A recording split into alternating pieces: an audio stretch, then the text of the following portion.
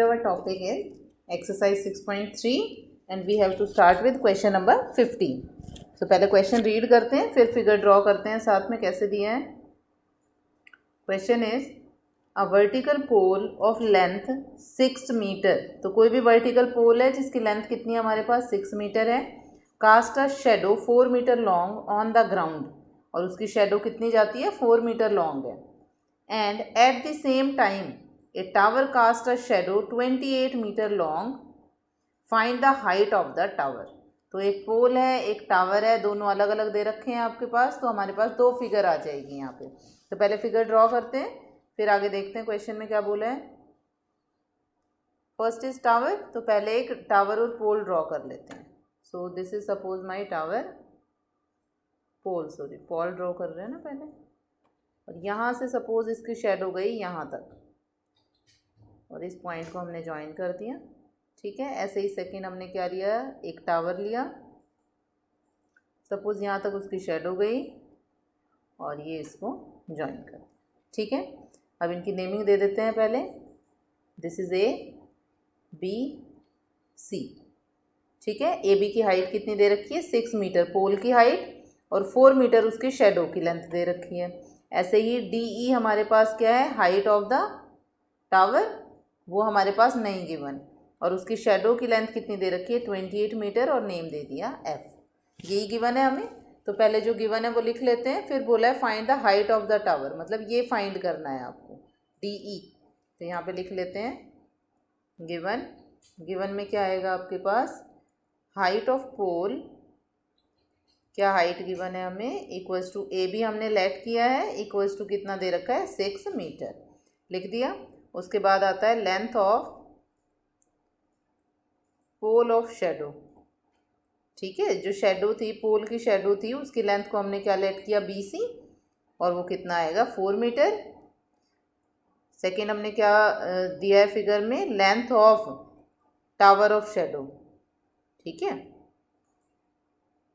तो वो हमारे पास हमने क्या लेट किया है? ई एफ़ और वो कितना दे रखा है? Twenty eight metre all are in the metre तो मीटर लिख दिया। अब टू फाइंड है यहाँ पे प्रूव नहीं है तो टू फाइंड लिखेंगे। टू फाइंड में हमें क्या फाइंड करना है? हाइट ऑफ़ टावर और वो कितना है हमारे पास? वो हमें फाइंड करना है। ठीक है? अब सॉल्यूशन कहाँ से स्टार्ट होगा इसका? देखो, आपको दो ट्राइंगल्स दिख रहे हैं। ठीक है? तो सबसे पहले देख लेते हैं, दोनों ट्राइंगल सिमिलर हैं कि नहीं है। अगर सिमिलर हो जाएँगे तो साइड्स का रेशियो इक्वल आ जाएगा और क्वेश्चन इजीली सॉल्व हो जाएगा। अब सिमिलैरिटी के लिए क्या करना है सबसे पहले? आपको पता है पोल अगर हमारे पास बेस के ऊपर है तो 90 का एंगल फॉर्म करेगा, ऐसे ही टावर भी 90 का एंगल फॉर्म करेगा। दो चीज़ें हो गई हमारे पास। उसके बाद क्या बोला है?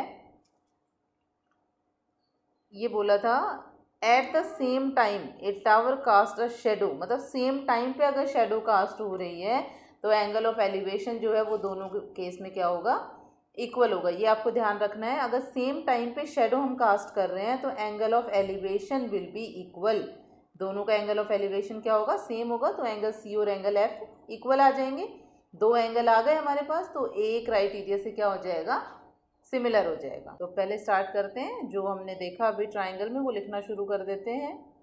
In triangle A B C and triangle D E F ठीक है? हमारे पास क्या गिवन है? Angle B equals to angle E और रीजन में आप लिखोगे नाइन्टी डिग्री तो दोनों क्या है? Both are vertical to ground ये रीज़न हो गया हमारा वर्टिकल टू ग्राउंड ठीक है? सेकेंड हमारे पास क्या है? Angle C equals to angle F और रीज़न क्या आएगा? Same elevation in both the cases as क्यों है बोथ द केसेस में? As shadows are cast at the same time cast at same time ठीक है? ये रीज़न हो गया. Therefore triangle A B C similar to triangle D E F और reason आ जाएगा बाय ए ए सिमिलैरिटी ठीक है? अगर हमारे पास दो ट्राइंगल सिमिलर है तो उनकी साइड्स का रेशियो प्रोपोर्शनल होगा। तो यहाँ से लिखेंगे this implies ratio of their sides are in proportion लिख देंगे प्रपोर्शन में। तो जिस साइड की ज़रूरत है, वो ले लेते हैं, और जो साइड गिवन है, वो ले लेते हैं। एक हमें ए बी गिवन है, और एक हमें डी ई फाइंड करना है। एक हमें बी सी गिवन है और एक हमें ई एफ़ गिवन है। तो सिर्फ़ यही दोनों लिए। तो यहाँ से मेरे पास क्या आया? This implies A B six upon D E equals to four upon twenty eight तो यहाँ से आया one by seven cross multiply करें तो हमारे पास आ जाएगा D equals to six into seven that is forty two metre यही हमें फाइंड करना था। तो लास्ट में क्या लिखेंगे? Final statement hence the height of the tower of the tower is forty two metres ठीक है? ये आंसर हो गया हमारे पास। इंपॉर्टेंट क्वेश्चन है। ध्यान से करना है। ठीक है? कंफ्यूज नहीं होना। इजी है। सिमिलैरिटी भी आ गया और साथ में हमने क्या यूज़ किया? एलिवेशन का भी यूज़ किया। अब प्रोसीड करते हैं क्वेश्चन नंबर सिक्सटीन की तरफ़। क्वेश्चन नंबर सिक्सटीन में क्या बोला है? If A D and P M are medians of triangle A B C तो कोई भी ट्राइंगल है ए बी सी उसकी मीडियन क्या है? ए डी और पी क्यू आर ट्राइंगल है, उसकी मीडियन क्या है? P M where triangle A B C similar to P Q R ये भी गिवन है प्रूव दैट हमें ये रेशियो इक्वल प्रूव करना है, जिसमें हमारे पास एक तो साइड है और एक क्या है? मीडियन है. तो ये रेशियो प्रूव करना है तो पहले फिगर ड्रॉ कर लेते हैं, फिर गिवन टू प्रूव लिखते हैं. साथ में क्या बोला है? मीडियन तो ए पॉइंट से एक मीडियन आएगा कोई, ये मीडियन ड्रॉ हो गया ऐसे सेकेंड ट्राइंगल ड्रॉ कर लेते हैं। This is P Q R इसमें भी हमें साथ में क्या दे रखा है? एक मीडियन बोला है। तो यहाँ से एक मीडियन ड्रॉ कर लेते हैं। ये मीडियन है। ठीक है, अब नेमिंग देना शुरू करते हैं इसको। This is P point this is Q this is M this is R A B C and D ठीक है तो जो गिवन है पहले वो लिख लेते हैं। गिवन में हमारे पास क्या आएगा? And triangle P Q R such that दोनों क्या हैं? सिमिलर है. Triangle A B C is similar to triangle P Q R also A D and P M are median of the triangles. Medians of triangle ABC and triangle PQR यही given था। To prove clearly सीधा सीधा given है। तो वो लिख लिया यहाँ पे टू प्रूव क्या आएगा? A B upon P Q equals to A D upon P M देखो A B P Q A D P M ठीक है? अब ये एक तरह से क्वेश्चन जो हमने पहले किया था, उसका रिवर्स हो गया। उसमें क्या था?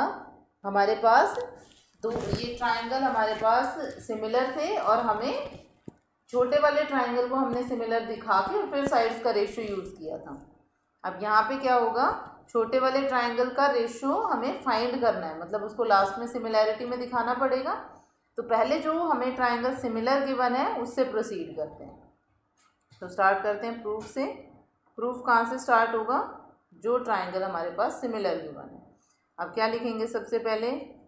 A D is medium this implies हमारे पास क्या आ जाएगा यहाँ से?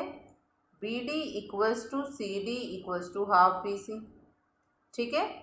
Similarly P M is median तो यहाँ से क्या आ जाएगा? This implies Q M equals to R M equals to half of Q R ज़रूरत पड़ेगी तो यूज़ कर लेंगे। अब आगे क्या गिवन है? आगे हमारे पास ट्राइंगल गिवन है तो लिखते हैं।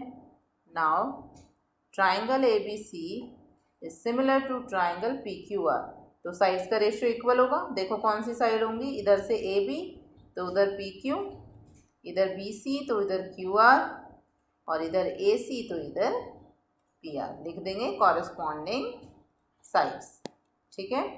Corresponding sides of similar triangles लिख दिया? उसके बाद देखो अब। हमें किसकी ज़रूरत है? ए बी पी क्यू और साथ में A B this is A B this is P Q एक तो ये चाहिए। साथ में बी डी चाहिए। मतलब ए डी चाहिए। तो इस ट्राइंगल में कौन सी साइड है? बी डी वाली साइड है। तो हम कौन सी साइड को डील करेंगे? बी सी और क्यू आर को। ये वाली साइड लेने का बेनिफिट क्या है? क्योंकि हमें ट्राइंगल ए बी सी और ट्राइंगल पी क्यू आर पे बात करनी है। So A B upon P Q equals to तो B C upon Q R तो यहाँ पे लिखा B C upon Q R अब बी सी का हमें क्या पता है? हाफ़ लेना है तो बी सी की जगह लिख सकते हैं two B D upon two Q M ठीक है, इसकी जगह टू बी डी और इसकी जगह टू क्यू एम टू से टू कैंसिल तो क्या आ गया? B D upon Q M आ गई एक चीज़ हमारे पास, ये फ़र्स्ट इक्वेशन हो गई। दोबारा से नीचे लिख देती हूँ। A B upon P Q equals to B D upon Q M ये फ़र्स्ट इक्वेशन हो गई। ऑल्सो दोनों ट्राइंगल हमारे पास सिमिलर हैं। तो यहीं पे लिख देती हूँ एंड हमारे पास दोनों ट्राइंगल सिमिलर हैं therefore angle A equals to angle A नहीं एंगल बी की ज़रूरत है। So angle B equals to angle Q ठीक है? कॉरेस्पॉन्डिंग एंगल हो गए। इसको इक्वेशन नेम दे दिया टू अब आप क्या लिख सकते हो? देखो by one and two by one and two in triangle कौन सा ट्राइंगल जो हमारे पास दे रखा है, जिसको हमें क्या करना है? सिमिलर प्रूव करना है। Triangle A B D and triangle P Q M क्या आया हमारे पास? A B upon P Q equals to B D upon Q M and angle B equals to angle Q तो कौन से क्राइटेरिया से similar हुआ? एस से S से therefore triangle A B D is similar to triangle P Q M और reason क्या आ गया यहाँ पे? बाय एस एस सिमिलैरिटी देखें ऊपर ट्राइंगल में कौन से दो ट्राइंगल की बात हुई है? A B D this one ठीक है? कौन सा ट्राइंगल लिया हमने? ए बी डी और साथ में यहाँ पे पी क्यू एम इन दोनों ट्राइंगल में अगर सिमिलर हो गए तो साइड का रेशो भी इक्वल होगा। तो यहाँ पे लिख देते हैं साइड्स का रेशो इक्वल होगा। This implies A B upon P Q equals to क्या बोला है? A D upon P M reason क्या आ जाएगा?